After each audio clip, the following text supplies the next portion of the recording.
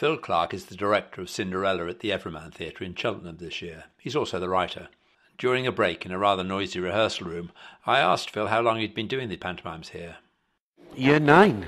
Year nine. Year nine. How long will it go on? Well, next year's is chosen already, so we know what we're doing. So don't ask me. You're not. I'm not going to tell you. It's a surprise. We're surprise. buying a little flat in Cheltenham next. yes, I know. I know. It's, well, as I was saying earlier on this morning, it's becoming a 12-month job. As, soon as I finish one year, we've chosen the next one. So I go away, I start writing, and then we're starting into auditioning. And I blah, mean, do- I mean, is it literally that? I mean, when do you start? You, you, you know the title, but Yeah. when do you start actually putting words on paper? I start putting words on paper in March. And you're thinking about casting at the same time? Yes. Yeah, and what we want to do with it and what we want to do, you know, what's different to the way that we want to do it before. So, you know, we're then going to start doing castings and, and, and uh, you know, getting new energies in and all that sort of thing. So it is a 12 month job. But you do lots of other things as well. Oh, gosh, yes. If they get the same amount of dedication. Yes, yeah, you've got, you know, as being a freelance director, that's what you are. You are, you are a juggler. You're balancing this show, that show, this show, that show. But that's, So that's how many shows do you do in a normal year? About seven, I would think, yes. Yeah, seven, about seven or eight. Well, some of those are repeats. Some of them are repeats, but you know, straight from here, I go to Rhyl to do panto. So you know, there's two You've got a proper little routine, though, don't you? Yeah, yeah, that's that's nice. You know, I usually I haven't done one uh, before that. This year. I've just finished doing um, September Tide over uh, Daphne du Maurier over in Southwold.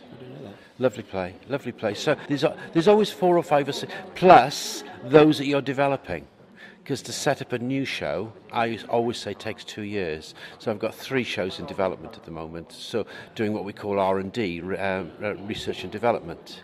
So uh, I'm do- so I've got three of those in, in, in, in development. So yeah, you know, there's there- there's a constant. You sort of, sort of say right, Monday is a is a panto day. I'm just going to just concentrate Well, on can you do that? I mean, surely. You, Yeah.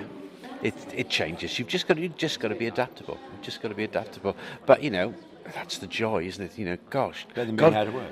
and, and God forbid I got a proper job. Do you know what I mean? This Mm. is fantastic, isn't it? It's just lovely. Be living. But in, don't, I mean, does it never jar? Do you never say, oh, Christ, not Cinderella again? Well, yeah, but you know, like this year, I've changed it. I've changed it around because quite. I was very concerned about doing Cinderella with Willie because we've set up that relationship with Willie and his audience here as being glorious and it's celebratory. And the bottom line is, the sisters have got to be the baddies. Hmm.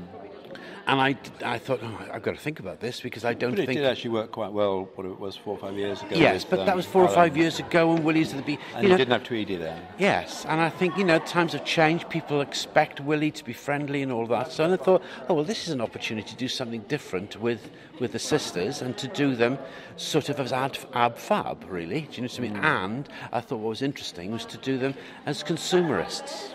Yes, so they are about spending money. They are about That's shopping. The ab fab thing is very good. Yes, you know, uh, and and and consumerism is such a big thing for kids at the moment, and you know, and that and that um, being famous and being celeb, and I thought the sisters could be ruthlessly that. So there was an opportunity there to go to go for something different rather than just playing them as the dames. In Panto, Yeah, yeah. and, and and then rewriting it in that way so that Willie could remain glorious with his relationship with the audience. So so you know that that's a real Sounds- challenge. sounds.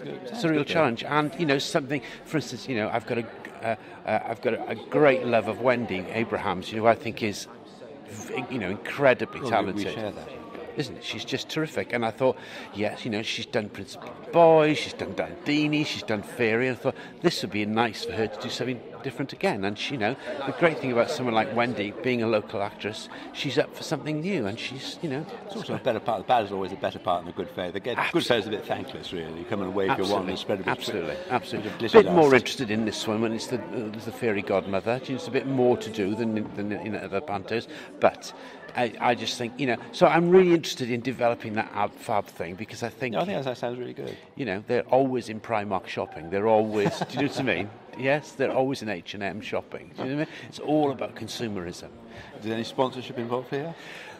Oh, I dare say there will be. I dare say there will be. You know, and the and I think the worry for the dame, you know, has you know, for, you know that uh, you know they're going to take her tax credits away. So how's she going to support them? Do you know what I mean? It's all that thing because that's what banter's got to be, isn't it? It's got to have that contemporary element. Yes. Uh, no, absolutely. But I mean, we've had this discussion a thousand times before about you not using um, celebrities off the Yeah. telly because there was almost too much of this contemporary reference Yes. in things. It Yeah. was too much of the moment, whereas pantomime should always be traditional. Yes, But yeah.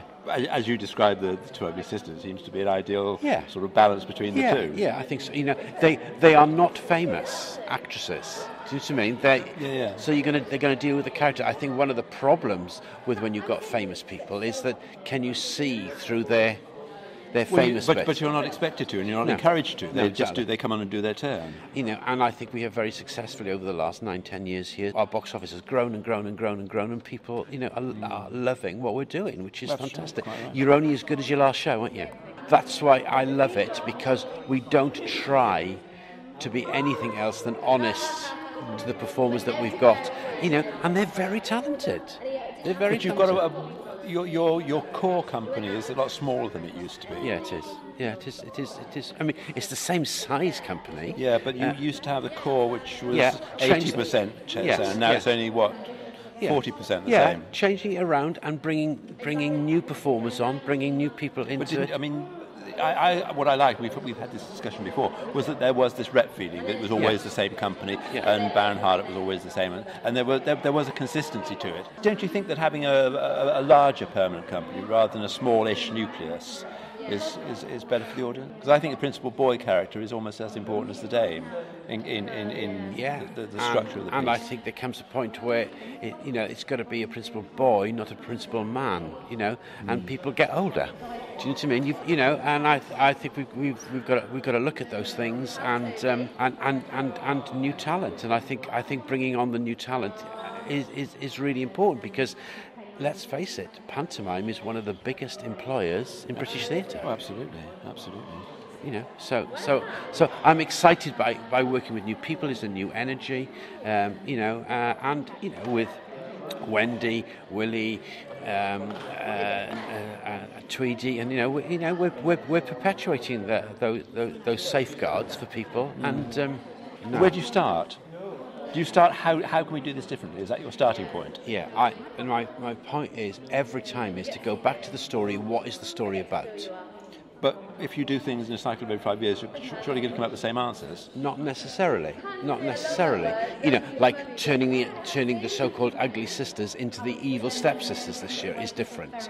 Um, I think also looking at what what are what are the contemporary issues at the moment. They're, they're like consumerism. That that that was. Uh, uh, remember a few years ago, I did a very green one with uh, Jack and the Beanstalk, and everything was about recycling and all that sort of thing. So I, I'm really interested in responding to what are the issues of uh, the, the big issues of the day.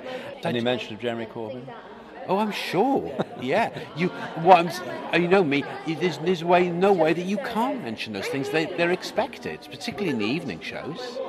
They, I think, that that is why it happened, wasn't it? Because it was when the it was when the fools took over the asylum. Because when the actor managers rested at Christmas, said I don't want to do anything, and they, they just didn't perform, and their companies created pantomime. They were naughty and that's why boys just girls, girls just as boys, and they took the rise out of the out of the, the actor manager and what was happening in society, and it is about being naughty and saying out loud what you're not supposed to say, and that's joyous, isn't it? That is joy, and ev- every child's dream to say it out loud. And inside us is every child who'd love to say it anyway. so you know, I think I think it has to be naughty. I think it has to be naughty, and that, mm. that's what keeps it dangerous and Do you exciting. think naughty is the key word for pantomime? Yes, I do. I love being naughty, and every child loves being naughty, and every adult. You know, come on. So I think there is that. No, but there is a there is a sort of complicity in naughtiness Hmm. um, that, there's lots, lots like, of like sorts. and, and, and with, with pantomime, there is this complicity. Yes, you're being naughty, but yes, it's good fun, and we don't mind you on this occasion. Yes, yes, exactly. Yes, exactly. Being naughty. But it's that naughtiness that allows you to say something that you probably wouldn't be able to say in any other context, which I think is exciting.